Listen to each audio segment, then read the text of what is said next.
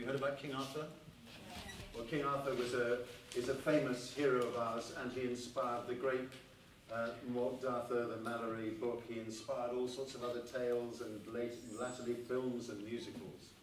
What you may remember about King Arthur is he had a round table, and the knights would sit around the round table and make decisions together. Uh, uh, and uh, he, the knights would run around the country um, saving, well, being nice to women, really, and saving them from dragons, and, and fighting for the right, and protecting God, and looking for the Holy Grail, and that kind of thing. And so everything in King Arthur's world was fantastic, except for the occasional bad magician. And the other thing, of course, that was really wrong was that he was married. And, um, I mean, marriage isn't so bad, obviously, it's quite good, but, but he was married to a beautiful woman called Guinevere. And that wouldn't have been a problem, except that she was in love with, with, with Sir Lancelot, who was the kind of Brad Pitt knight of his day. He was the And, um, and Sir Lancelot would go around the world saving maidens and uh, protecting religion and all that kind of thing. Um, and one day he was badly wounded. And he ended up in a place called Astolat.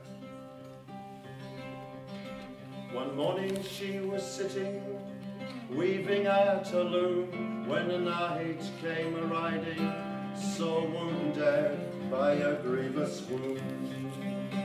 And she helped him from his horse, and they laid him on a bed, and for many weeks that followed, she nursed him back from the dead. But she never had a lover, and she never was a wife. She was a spotless maiden on the day she lost her life.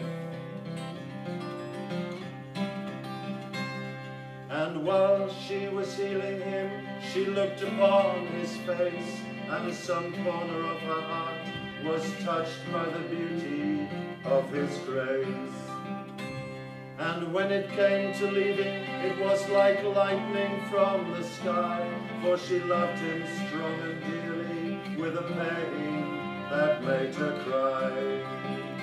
But she never had a lover, and she never was a wife. She was a spotless maiden on the day she lost her life. And she asked him, will he marry take me to wife?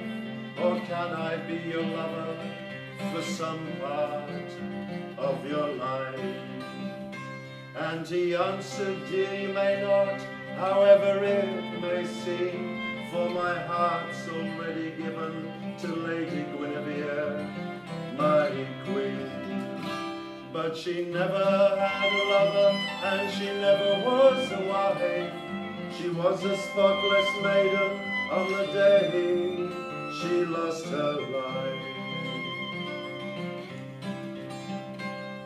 And when he had left her, she could only weep and sigh, and the agony she had from this caused her to weaken and to die.